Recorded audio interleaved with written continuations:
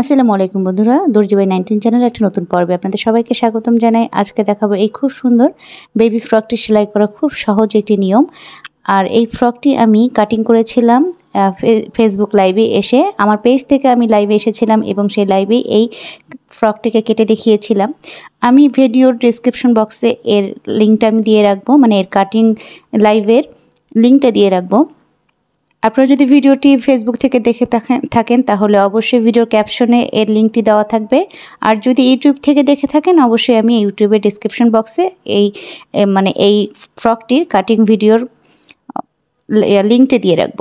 তো প্রথমেই আমি এখানে একটি কাপড়ের টুকরো নিয়ে নিয়েছি। এটা একটা র্যান্ডমলি একটা মেজারমেন্টের কাপড় নিয়ে নিয়েছি।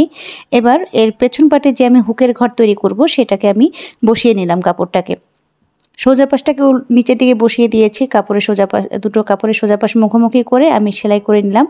এবার এর বাড়তি কাপড়গুলো কেটে নিচ্ছি এবং রাউন্ড সাইডের যে কাপড়গুলো রয়েছে সেগুলোকে ছোট ছোট করে কাট লাগিয়ে নিচ্ছি।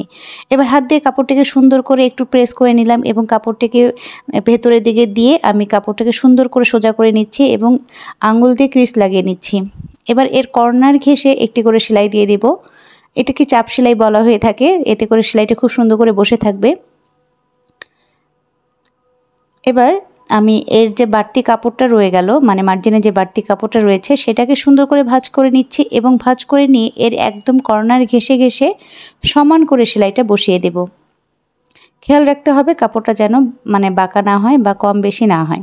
এখন এই যে আমার পেছনের কাপড়ের হুকের ঘরটা তৈরি হয়ে গেল, এখন এখানে কিন্তু হুক, হুকের, হুক লাগাবো, হুক হুক বসানোর ঘর এবং হুকের হুকটাকে আটকানোর জন্য যে ঘরটা থাকে, সেটাকে আমি তৈরি করে নেব পরে। এবার দুটো পার্টেরই কাঁধের অংশটাকে আমি সেলাই করে নিচ্ছি এবং এই অংশে কিন্তু আমি সেলাইটা ডাবল করে দিচ্ছি। যারা সেলাই কাজে নতুন, তাদের, তারা সে আপুরা খুব ভালো করে একটু লক্ষ্য করবেন। আমি কিন্তু জয়েন্টের জায়গাগুলোতে ডাবল করে সেলাইটা দিচ্ছি। এবার এই যে গলার অংশটা রয়েছে, সেখানে আমি পাইপিং লাগিয়ে নেব। আর এটার জন্য আমি সেম কাপড়ই নিয়ে নিয়েছি এবং প্রায় দুই, পনে দুই ইঞ্চির কাছাকাছি আমি কাপড়ের চড়া নিয়ে নিয়েছি। চড়াটা আপনারা আপনাদের পছন্দ মতো নেবেন। আপনার পাইপিংটা দিতে কতটুকু কাপড় লাগতে পারে সেটার উপর ডিপেন্ড করে আপনারা কাপড়টা নেবেন। এবার এই কাপড়টাকে সেট করে নিয়েছি এবং সেট করে নিয়ে দুইবার মুড়িয়ে আমি বসিয়ে দিচ্ছি এবং এবার যে সেলাইটি দিব খুব সাবধানতার সাথে এবং এক সাইড দিয়ে সেলাইটি দিতে হবে।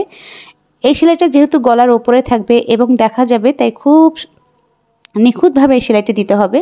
দেওয়ার সময় একটু খেয়াল রাখবেন যেন বাঁকা না হয়। যারা সেলাই কাজে একেবারে নতুন আছেন, তাদের জন্যই বলা বিশেষ করে, এই সেলাইটা যেহেতু দেখা যাবে, তাই একটু নিখুঁত করে দেওয়ার চেষ্টা করবেন। আস্তে আস্তে দিলে অবশ্যই আপনাদের সেলাই সোজা হয়ে যাবে। তা এখানে আমার মোটামুটি কাপড়টার সেলাই প্রায় শেষ হয়ে গেছে মানে বুকে মানে গলার অংশে। পাইপিংয়ের কাপড়টা দেওয়া শেষ হয়ে গেছে এবং এবার লাস্ট কর্নারটাতেও আমি সুন্দর করে কাপড়টাকে মুড়িয়ে নিয়ে ভেতরের দিকে দিয়ে দিয়েছি এবং এটাকেও সুন্দর করে ভাজ করে সেট করে দিচ্ছি।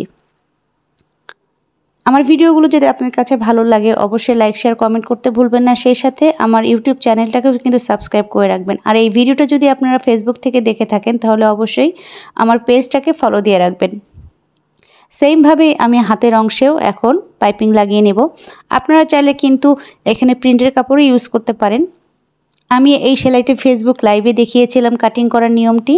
খুব ডিটেলভাবে দেখিয়েছি, যারা নতুন আছেন তারা যদি এই ফ্রকটার কাটিং কাটিং ভিডিওটা দেখতে চান ক্যাপশনে ফেসবুক থেকে যদি দেখে থাকেন, তাহলে ক্যাপশনে এর লিঙ্ক দেওয়া থাকবে। আর যদি ইউটিউব থেকে দেখে থাকেন, তাহলে ইউটিউব ডিসক্রিপশন বক্সে মানে এই ভিডিও ডিসক্রিপশন বক্সে লিঙ্কটা দেওয়া থাকবে। এই ফ্রকের নিচের অংশে দুই ইঞ্চি পরিমাণের একটি কুচি ব্যবহার করা হবে, যার কারণে আমি এখানে প্রায় তিন ইঞ্চির কাছাকাছি একটি কাপড় নিয়ে নিয়েছিলাম, তিন ইঞ্চি চওড়া আর কি। এর এক মাথা আমি মুড়িয়ে সেলাই করে নিচ্ছি। আমি যেহেতু এখানে কুচি তৈরি করব, আর এক সাইডে আমি এটার মাথা মানে এক সাইডের মুড়ি ভেঙে নিচ্ছি আর কি। এবার ছোট ছোট করে কুচি লাগিয়ে নিচ্ছি, আর এই কুচিটা আপনারা টোটালি আপনাদের পছন্দের উপর ডিপেন্ড করে যে আপনারা কতটুকু ঘন রাখতে চাচ্ছেন। ভিডিও সংক্রান্ত কোনো প্রশ্ন থাকলে অবশ্যই আমাকে কমেন্ট সেকশনে দেবেন বা ইনবক্স করতে পারেন। আপনাদের প্রশ্নের উপর ডিপেন্ড করে আমার পরবর্তী ভিডিওগুলো তৈরি করব ইনশাল্লাহ এবার আমরা যে কুচিটা তৈরি করে নিয়েছিলাম, এই কুচিটাকে ফ্রকের নিচের অংশে আমি সেট করে দেব। ফ্রকটার মানে ফ্রকের সোজা পাশ ওপরে এবং কুচির সোজা পাশ নিচে দিয়ে আমি এটাকে সেট করে দিলাম এবং সেট করে দিয়ে এবার আমি মানে ফ্রকের সাইডে একটি চাপ সেলাই দিচ্ছি। এতে করে কুচিটা খুব সুন্দরভাবে বসে যাবে। কোনো অংশে মানে মানে উঁচু হয়ে থাকবে না। আর এটা একটু গুরুত্বপূর্ণ এই জন্যই, কারণ এই সেলাইটার দেওয়ার ফলে কিন্তু ফ্রকের ফিনিশিংটা খুব ভালো মতো দেখা যায়। আচ্ছা এবার বডি পাশের আমি কাপড়টাকে সেট করে নেব। আর এটা আমি প্রথমে যে পাশে দাগ দিয়েছিলাম কামিজটার কাটিং করার সময়, সে পাশেই দাগ, প্রথমে দাগ দিয়ে নিলাম। আর এটা যেহেতু জয়েন্টের অংশ, তাই এখানেও অবশ্যই ডাবল করে সেলাইটা দিয়ে দিবেন। তো এই তো আমার ফ্রকটা সেলাই করা হয়ে গেছে। অবশ্যই এর কাটিং ভিডিওটা দেখে নেবেন, তাহলে এই ফ্রকের ডিজাইনটা সেলাই করাটা আপনাদের বুঝতে সুবিধা হবে। সেলাই কাজে একেবারে যারা নতুন আছেন, আমার প্রত্যেকটি ভিডিও বিশেষ করে তাদের জন্য তৈরি করা।